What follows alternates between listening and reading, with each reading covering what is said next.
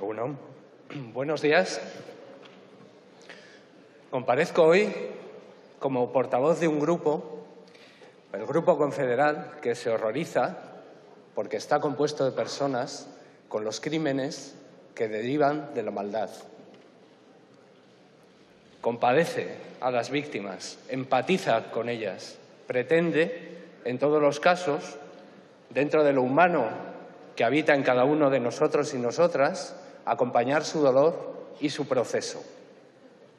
Y ese es el primer pensamiento que quiero hacer extensivo a todas las personas que nos acompañan hoy en esta tribuna.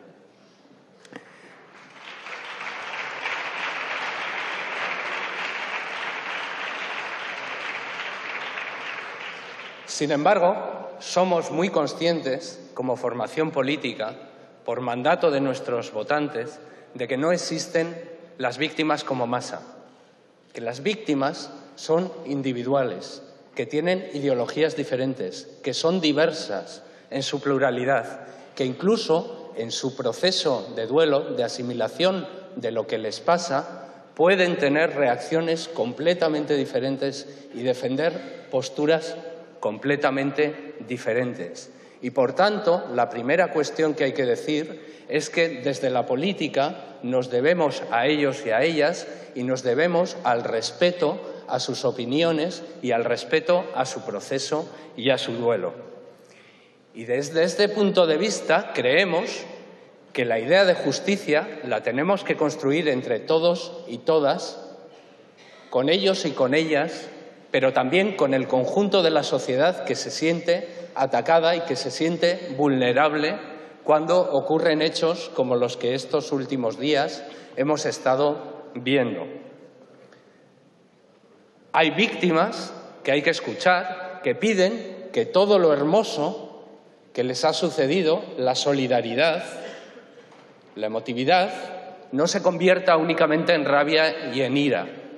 Y me permitiré citar a una víctima, a Javier Couso, cuyos familiares nos acompañan también, que dijo que en los días terribles, tras un crimen horroroso, cuando la lluvia miserable del odio vengativo cala hasta en las mejores almas, no vamos a pedir perdón por defender que nuestro sistema de justicia tenga un fin reinsertador. Señorías del Partido Popular y de Ciudadanos, no vamos a pedir perdón por pensar que nuestro sistema de justicia tiene que tener un fin reinsertador.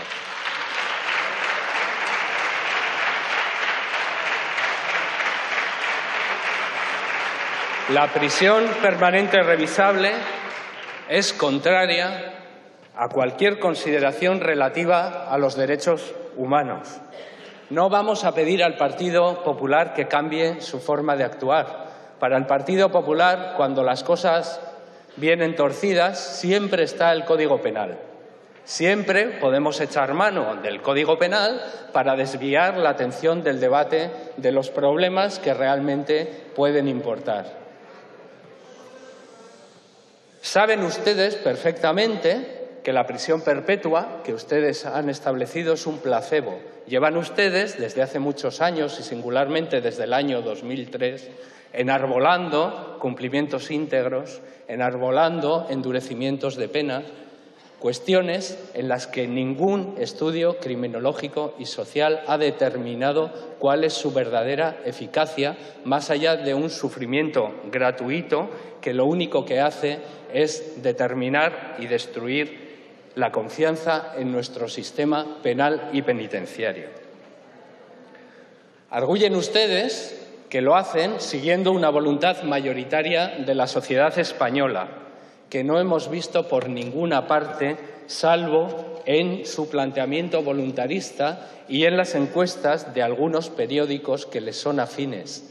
Ustedes están haciendo depender el cumplimiento de los derechos humanos en España de las encuestas de algunos periódicos. Y esto hay que decirlo alto y claro.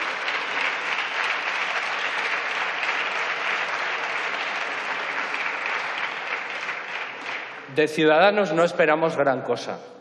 Realmente ustedes es de lo que haga falta. Se lo hemos dicho muchísimas veces y en esta vez se les ha recordado el acuerdo que ustedes hicieron con el Partido Socialista para derogar la prisión permanente revisable en el año 2016 y se les han recordado las palabras en octubre de este año diciendo que la prisión permanente revisable era demagogia punitiva. No perderé el tiempo con su propuesta porque no merece la pena desde un punto de vista científico. Simplemente les voy a decir que lo que hemos oído por parte del portavoz del Grupo de Ciudadanos en esta tribuna no puede ser calificado de otra manera como demagogia populista de extrema derecha.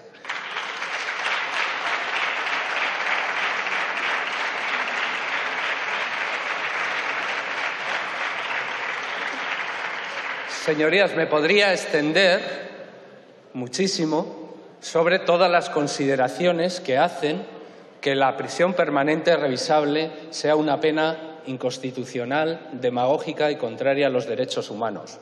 Otros portavoces ya lo han hecho por mí y otros, como la doctrina penal y la práctica totalidad de la abogacía y de las personas que se dedican a esto, ya lo hacen diariamente en tribunas y en otros espacios y foros. Debido a lo limitado del tiempo, únicamente les voy a decir una cosa. Nuestro grupo confederal se considera orgullosamente heredero de la tradición española ligada sencillamente a unos principios europeos de la Ilustración. Señor Girauta, léase a Becaría y léaselo bien. Y cuando se lo lea, Becaría le dirá que cualquier pena excesiva es tiránica. Y a partir de ahí, vayan ustedes a la mejor doctrina española, empezando por Concepción Arenal, ya citada, siguiendo por Victoria Kent, otra gran feminista que hizo la revolución humanista de las prisiones. Váyanse ustedes al Convenio Europeo de Derechos Humanos, léanse ustedes la Constitución del año 78 Examinen ustedes la legislación penitenciaria, la primera ley de esta democracia que ustedes tanto ensalzan en el año 79 y a partir de ahí saquen las conclusiones que tengan que sacar. No nos lleven a un planteamiento emotivista, tengamos un debate racional, que es lo que ustedes no quieren porque saben que ustedes pierden ese debate.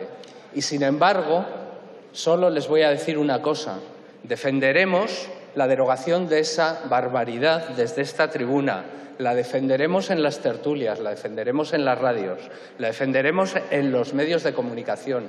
No vamos a callar, no vamos a pedir perdón.